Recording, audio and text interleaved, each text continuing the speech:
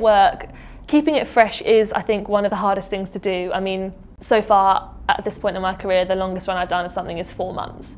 So um, I think actually having time off is really important. One of the best pieces of advice um, for me was from my friend Freddie, and he said, every night improve something that you didn't like the night before. And every night you'll be fixing and it'll be getting better and better.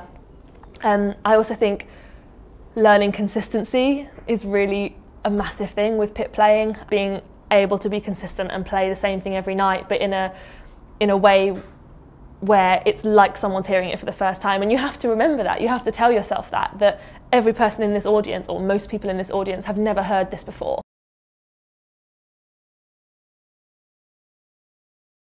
I got into pit playing at uni. Um, I was doing the classical course, but I ended up doing um, Legally Blonde and West Side Story and that sort of thing in the Palace Theatre in Manchester. Um, and I realised that actually I really love it and it's definitely my personality because it's uh, I like I like being with other people. I quite like being in that sort of small group of people and we're all working as a team. I, I love that. Musicals just makes me happy and makes me smile. All the West End stuff, it's not really auditioned. Um, it's, it's just who you know, being there at the right time, being in the right place, being a dep. Um, so yeah, that's really where I met all the sort of contacts I have now. And um, you sort of just go from there really.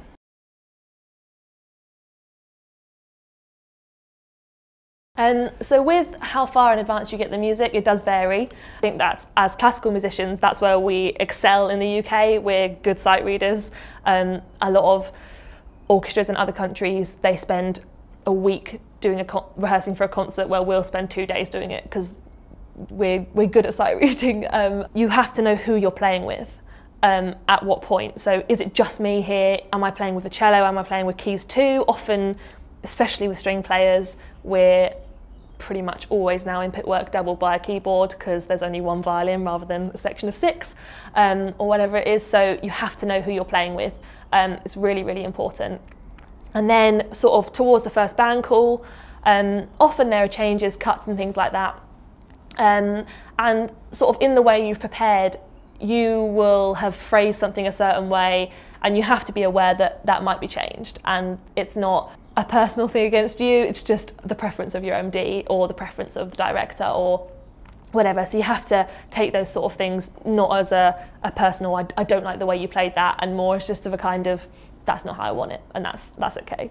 Um, so you have to be able to be versatile and change the, the style of something you're doing, or more vibrato, less vibrato, whatever it is. The MD is always going to have an idea of how it is in their head, and you have to help them create that. So you cannot you can't be selfish in the way you play.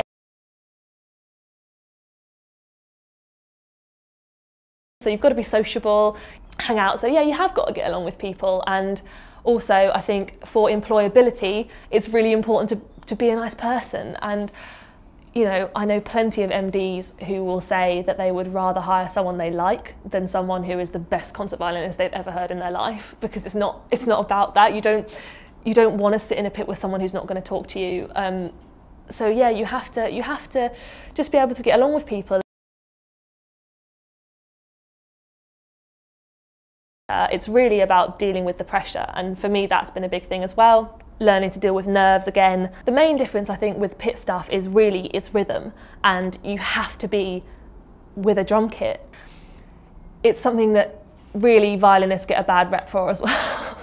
you know, we have the, the constant on running joke, oh, you're a violinist, you can't play in time, you know, and I personally would really love to not have that, you know, that, that label put on me. So I try really hard to kind of not rush or or not pull back too much. I think in orchestras a lot of the time you find you get a downbeat and then you hear the sound of a string section. Um, and in pit music, you just can't do that because the sound of a drumstick hitting the drum is an instant thing. And if you're not playing on that beat, then you're behind.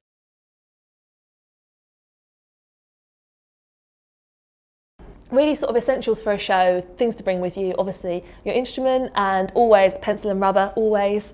Um, they always go missing as well, so more pencils the better. Um, you always end up giving them to someone and never seeing it again. Um, definitely your in-ears in case you ever need them, even if you're on a show where you don't, you don't need them. Sometimes it's just good to have them there.